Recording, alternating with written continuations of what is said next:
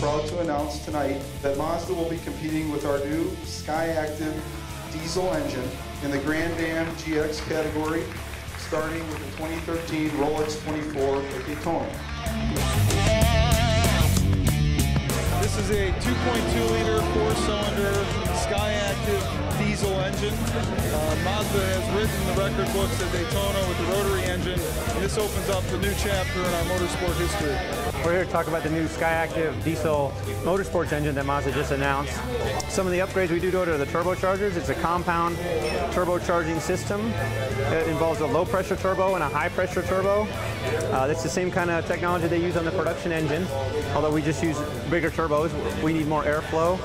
These are piezo electronic fuel injectors, latest technology right off the uh, production vehicle. A huge step for our company. It's uh, incredible technology. Skyactiv allows us this 2.2 liter engine to make roughly 400 horsepower and over 500 foot-pounds of torque. It's a new class for us. We're excited about it. It should be cars that are distinct to uh, the series today.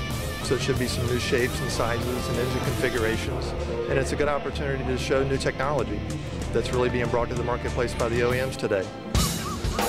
The Mazda brand is about defying convention and also racing what we sell. We've announced that we're bringing diesel technology, advanced technology to the U.S. market, and we are challenged by our executive team to race what we sell and to be able to tell the brand and the retail story on the racetrack, improve our technology and, and its quality, its reliability, and its durability. So uh, I hope you see uh, a lot of victories, a lot of podium finishes, and hopefully a championship.